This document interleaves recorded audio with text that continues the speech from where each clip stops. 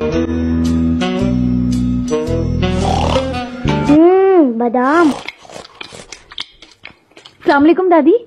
वालेकुम सलाम बेटा। चॉकलेट खाओगे? नहीं दादी। बेटा दांत नहीं रहे। बादाम निकाल के थूक देती हूँ।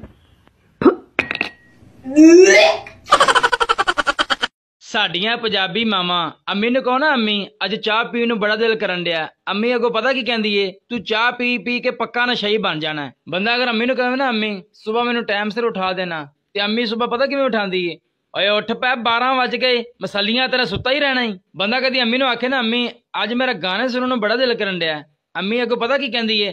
ਸੁਣ ਲੈ ਪੁੱਤਰ, ਸੁਣ ਲੈ, ਤੂੰ ਇੱਕ ਦਿਨ ਵੈਸੇ ਹੀ ਕੰਜਰ ਬਣ ਜਾਣਾ। ਜੇ ਭੁੱਲੇ ਚੁੱਕੇ ਘਰ ਦਾਲ ਪੱਕ ਜਾਵੇ ਨਾ, ਤਾਂ ਬੰਦਾ ਕਵੇ, ਅੰਮੀ, ਅੱਜ ਦਾਲ ਖਾਣ ਨੂੰ ਦਿਲ ਨਹੀਂ ਕਰਨ ਡਿਆ। ਅੰਮੀ ਅੱਗੋਂ ਪਤਾ ਕੀ ਕਹਿੰਦੀ ਆ? ਪਿਓ ਆਪਦੇ ਨਵਾਸ ਨੂੰ ਬਾਹਰੋਂ ਤੇਰੇ ਵਾਸਤੇ ਕੁੱਕੜ ਫਰਾਈ ਕਰਕੇ ਲਿਆਵੇ। ਦਾਲ ਖਾਣ ਲੱਗੇ ਤੇ ਤੈਨੂੰ ਮੌਤ ਪੈਂਦੀ ਹੈ ਨਾ। ਬੰਦਾ ਅਗਰ ਅੰਮੀ ਕੋਈ ਪੈਸੇ ਮੰਗ ਲਵੇ ਨਾ, ਅੰਮੀ ਪੈਸੇ ਦੇ ਮੇਰੇ ਦੋਸਤ ਦੀ ਪਾਰਟੀ ਮੈਂ ਉੱਥੇ ਜਾਣਾ। ਹੈ। ਅੰਮੀ ਅੱਗੋਂ ਪਤਾ ਕੀ ਕਹਿੰਦੀ ਏ? ਆਹੋ, ਜਿਵੇਂ ਪਿਓ ਤੇਰਾ ਬੈਂਕ ਤੇ ਬੈਠਾ ਨਾ, ਮੈਂ ਤੈਨੂੰ ਪਾਰਟੀਆਂ ਵਾਸਤੇ ਪੈਸੇ ਦਿੰਦੀ ਫਿਰਾਂ। ਬੰਦਾ ਅਗਰ ਅਫਸੋਸ ਕਰਨ ਵਾਸਤੇ ਕਿਸੇ ਘਰ ਚਲਾ ਜਾਵੇ ਨਾ ਅੰਮੀ ਦੇ ਨਾਲ, ਬੰਦੇ ਨੂੰ ਉੱਥੇ ਰੋਣ ਨਾ ਨਾ ਆ ਰਿਹਾ ਵੇ। ਬੰਦਾ ਭੁੱਲੇ ਚੁੱਕੇ ਘਰ ਆਣ ਕੇ ਅੰਮੀ ਨੂੰ ਆਖ ਦੇਵੇ ਨਾ, ਅੰਮੀ, ਮੈਨੂੰ ਉੱਥੇ ਰੋਣ ਨਹੀਂ ਆਇਆ।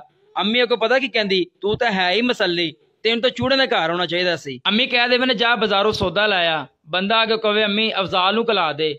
ਅੰਮੀ ਅੱਗੋਂ ਪਤਾ ਕੀ ਕਹਿੰਦੀ ਏ?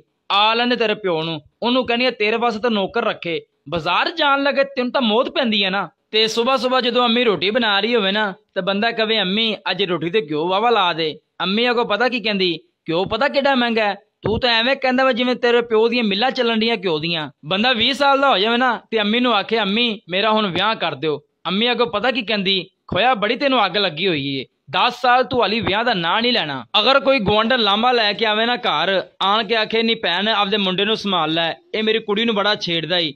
ਅਗੋਂ ਅੰਮੀ ਗੁੱਸੇ ਨਾਲ ਪਤਾ ਕੀ ਕਹਿੰਦੀ? ਨਹੀਂ ਭੈਣ, ਮੈਂ ਤੈਨੂੰ ਕੀ ਦੱਸਾਂ? ਇਹ ਮੇਰਾ ਹੈ ਹੀ ਨਹੀਂ।